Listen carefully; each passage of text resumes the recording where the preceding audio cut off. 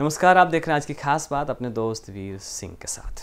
दोस्तों C N I N D T A यानी यहाँ की जो सेक्रेटरी है मंजूषा मैम, इनके कई इंटरव्यू और गेसन्स के साथ में जो अवैध तरीके से कब्जा किया है गेसन्स द्वारा और इनके बीच में जो डील हुई थी, उस विषय में हमने आप तक लगातार सच लेकर आया है। लेकिन एक बड़ी खबर आप तक हम लेकर आए हैं कि गेसन्स मामले में एनडीटीए का हाथ है और एनडीटीए के ट्रस्ट मेंबर जो ट्रस्टी मेंबर है, जिनका नाम है रचना सिंह।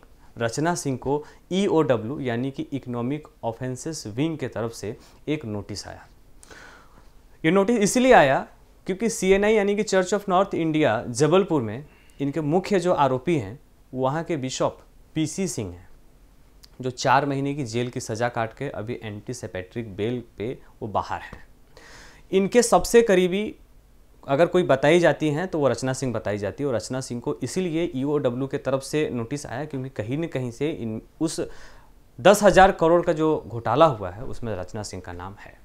अब रचना सिंह पहले ही इनका मामला चल रहा है ई की तरफ़ से आया और आने वाले 25 तारीख को 25 जनवरी 2023 को इनके पति, जिनका नाम संजय सिंह है और जबलपुर सी के बिशप पीसी सिंह, इसके इन दोनों के अलावा अन्य भी कुछ लोगों को EOW दिल्ली में इन्हें बुलाया गया है और वहाँ पे इन्हें हाजिर होना है। संभवतः ये वहीं होंगे भी। अब मामला ऐसा है कि ये EOW जबलपुर से मामला EOW दिल्ली तक चली गई और इसमें ईडी की भी इंटरफेयर सामने आ रही है। इसमें ईडी भी अपनी जाँच कर रही है, कार्रवाई कर रही है। मामला बहुत बड़ा है, दस हज़ार करोड़ का है। और रचना सिंह को ईओडब्ल्यू का नोटिस आना है अपने आप में एक बड़ा सवाल है। अब इसकी लिंक इसके तार एन नागपुर से कैसे जुड़ते हैं, मैं आपको वो बताना चाहता हूँ। सन 2021 में रचना सिंह, मंजूषा मैम जो सेक्रेटरी है, जिनका इंटरव्यू हम आपको बार बार दिखा चुके हैं, ये कुछ लोग एनडीटीए के मेंबर बने ट्रस्ट मेंबर बने, किसी भी तरीके से वो बने वैध हो या अवैध हो, वो जाँच का विषय है। उसके बाद यहाँ पे एक बड़ा मामला आया गेसन्स शोरूम का। जिसमें ये पाया गया कि गेसन्स शोरूम में उन्होंने अवैध तरीके से कम रेट में, यानी कि करोड़ों का फ़ायदा, यानी कि लगभग डेढ़ से दो करोड़ का फ़ायदा गेसन्स को कराया गया। अब किसी को फ़ायदा क्यों कराया गया? एक बड़ा सवाल उठता है। हालाँकि रचना सिंह का जो जबलपुर मामले में जो हाथ है, उसमें सबसे बड़ी जो शिकायतें थी, वो पैसों की हेरा फेरी लेकर के थी।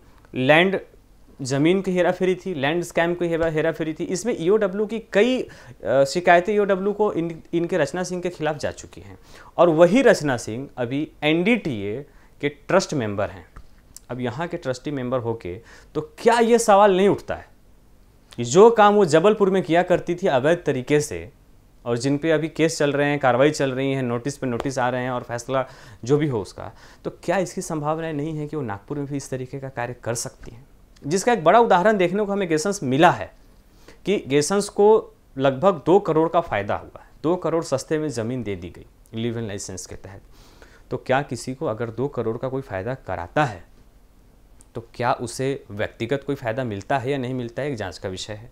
सोचने वाली विषय है। तो सवाल यहाँ ये उठता है कि रचना सिंह, मंजूषा मैम, ये सब जब एनडीटीए के सदस्य बनते हैं तो जो चीज़ें जबलपुर में हुआ करती थी, क्या वही चीज़ें अब नागपुर में दोहराने की संभावनाएँ दिख रही हैं? और गेसन्स एक एग्ज़ाम्पल दिखते हुए नज़र आ रहा है। ऐसी कई चीज़ें हैं जो कहीं ना कहीं से जबलपुर को नागपुर में दोहराने की कोशिश की जा रही है।